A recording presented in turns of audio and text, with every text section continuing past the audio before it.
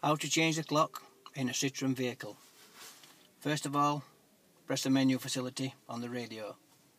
Press the OK button, which then gives you display configuration. Press the OK button, which comes up with date and time adjustments. Press the OK button again, which gives you the date and time. Move the arrows around the OK button to the hour. Press the OK button once again.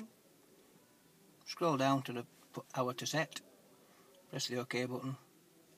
Move it to OK. Complete.